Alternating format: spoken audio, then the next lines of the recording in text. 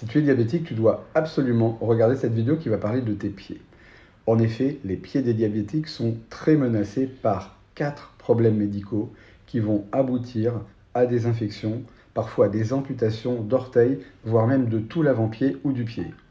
La première menace est liée au diabète lui-même, c'est-à-dire à, l'augmentation du taux de sucre dans le sang. Pourquoi?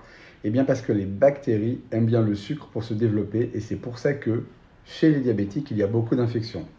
La deuxième est liée à la neuropathie diabétique. C'est une atteinte des petits nerfs qui donne la sensibilité des pieds, qu'on retrouve surtout quand le diabète est mal équilibré, qui fait que les diabétiques vont avoir des fourmis au niveau des pieds, vont avoir une sorte d'anesthésie et ils ne vont pas sentir quand ils se blessent. La troisième est l'atteinte vasculaire.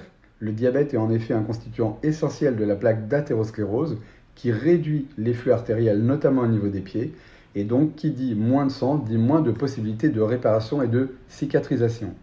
Et la quatrième, c'est l'éventuelle insuffisance cardiaque qui fait que les pieds des diabétiques sont œdémaciés. Cet œdème va distendre la peau et les tissus et va favoriser également les infections chroniques. Alors quoi faire quand vous êtes diabétique? Eh bien la première chose c'est d'équilibrer au mieux votre diabète et la deuxième chose c'est de regarder très régulièrement vos pieds au moyen d'une glace pour vérifier la face plantaire, la face que vous ne pouvez pas voir tout seul, pour détecter les petites lésions qu'il faudra traiter au plus vite.